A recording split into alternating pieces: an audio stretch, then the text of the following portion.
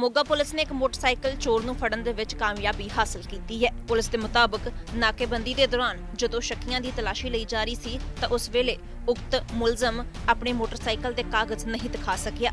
ਜਿਸ ਦੇ ਕੋਲੋਂ ਪੁੱਛਗਿੱਛ ਕੀਤੀ ਗਈ, ਤਾਂ ਇਹ ਮੋਟਰਸਾਈਕਲ ਚੋਰੀ ਦਾ ਨਿਕਲਿਆ। ਜਿਸ ਨੂੰ ਫੜਨ ਦੇ ਬਾਅਦ ਉਸ ਦੀ ਨਿਸ਼ਾਨਦੇਹੀ ਦੇ ਉੱਤੇ ਚੋਰੀ ਦੇ 6 ਹੋਰ ਮੋਟਰਸਾਈਕਲ ਬਰਾਮਦ ਕੀਤੇ ਗਏ।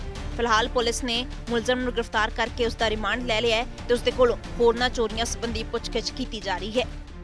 ਮੁਖਬਰ ਨੇ ਇਤਲਾਹ ਦਿੱਤੀ ਸੀ ਕਿ ਵੀ ਇੱਧਰ ਮੋਗਾ ਦੇ ਏਰੀਏ ਵਿੱਚ ਇੰਦਰਜੀਤ ਸਿੰਘ ਪੁੱਤਰ ਇਕਬਾਲ ਸਿੰਘ ਵੀ ਜੋ ਕੋਈ ਚੋਰੀ ਮੋਟਰਸਾਈਕਲ ਚੋਰੀ ਕਰਕੇ ਅੱਗੇ ਲਿਜਾ ਕੇ ਵੇਚਦਾ।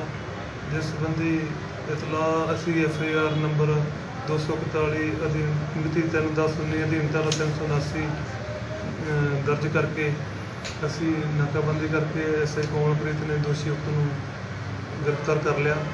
ਜੋ ਇੱਕ ਮੋਟਰਸਾਈਕਲ ਤੇ ਸੀ, ਉਹ ਉਸ ਸਮੇਤ ਮੋਟਰਸਾਈਕਲ ਕਾਬੂ ਕਰ ਲਿਆ ਔਰ ਉਸ ਤੋਂ ਬਾਅਦ ਅਸੀਂ ਉਸ ਦੀ ਨਿਸ਼ਾਨਦੇਹੀ ਤੇ ਅੱਗੇ 6 ਮੋਟਰਸਾਈਕਲ ਹੋਰ ਰਿਕਵਰ ਕਰ ਲਏ ਤੇ ਦੋਸ਼ੀ ਨੂੰ ਪੇਸ਼ ਅਦਾਲਤ ਕਰਕੇ ਉਹਦਾ ਤਿੰਨ ਦਿਨ ਦਾ ਪੁਲਿਸ ਰਿਮਾਂਡ ਹਾਸਲ ਕੀਤਾ।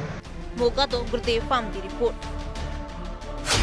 ਪੰਜਾਬ ਦੇ ਚਾਰ ਵਿਧਾਨ ਸਭਾ ਹਲਕਿਆਂ ਤੇ ਹੋਣ ਜਾ ਰਹੀਆਂ ਜ਼ਿਮਨੀ ਚੋਣਾਂ ਦੀ ਹਰ ਅਪਡੇਟ ਜਾਣਨ ਲਈ ਦੇਖੋ ਹਰ ਰੋਜ਼ ਸ਼ਾਮ 4 ਵਜੇ ਸਿਆਸੀ ਚਾਰ।